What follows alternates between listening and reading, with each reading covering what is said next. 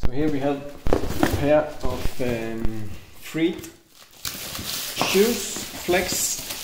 So this is uh, the company Freet, and I just received it, and they sent it from their warehouse in uh, Czech Republic. So let's have a look.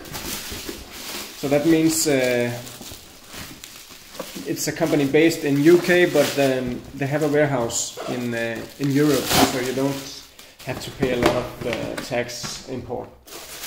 Um, so this is the model. You got a little. Uh, welcome to Freet here.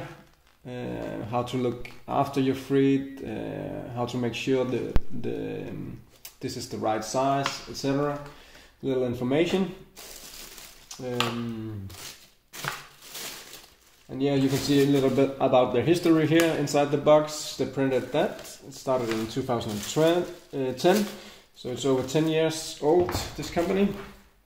Yeah, here we have the Flex model. I think it's um, very uh, what you call versatile. It can be used in many for many different purposes, just like a normal sneaker.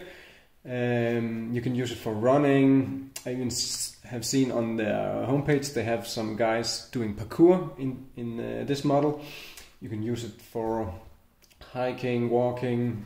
Um, use it for the gym. Uh, I think it has many purposes, and uh, I'm looking forward to test this one out. So I'll just see if um, I can. Yeah, get a feeling yeah, it's beginning to get a little cold in Denmark, so I'm starting to wear wool socks. Let's see.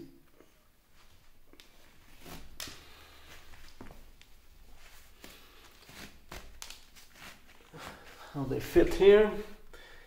Yeah, there's just a little space for the for the toes. I think it's all right. You can see how they tie together here. So this is a little bit like it's very flexible. You can like really make it tight but it's still still like this material underneath the laces it's very flexible. Like like this part here you can see I think you can see on the video like this part is very flexible. Um, and, yeah it's, I think it's the first time I've seen uh, I don't know what you call this in English, but like this one be being so flexible all the way down here, I never uh, encountered that in a in a shoe before. So let's see. A little bit long the laces here for me. Uh, it, it's alright. Uh, maybe I can change that, but yeah, it's really light, really flexible. I think it got got an okay grip.